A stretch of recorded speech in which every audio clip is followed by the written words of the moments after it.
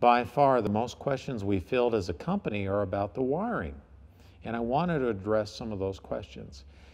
LEDs are DC based. They'll run on AC, but they're much more efficient on DC. With that is comes the uh, DEKOR package of products, which is the DC transformer and controls that go along with it.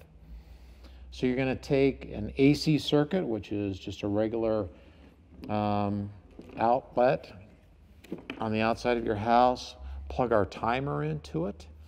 Uh, you're going to know you got power to it because it's got an indicator light on it. The transformer, DEKOR transformer, which is waterproof, is going to plug into that.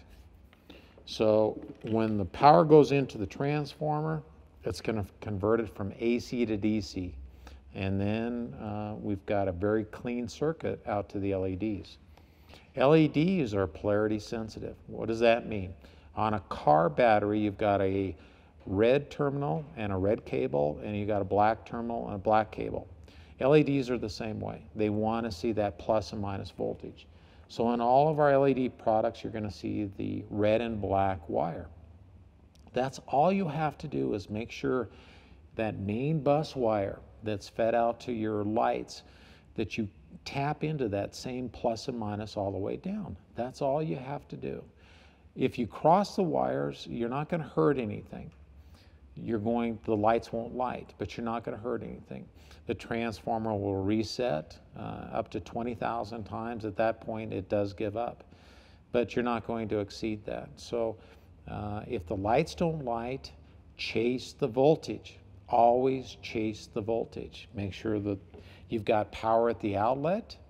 Make sure that the light on the switch lights out and that you've got power coming out of the transformer. Just take one of the lights, whatever they are, and attach it directly to the transformer. And that's going to tell you if the transformer is good.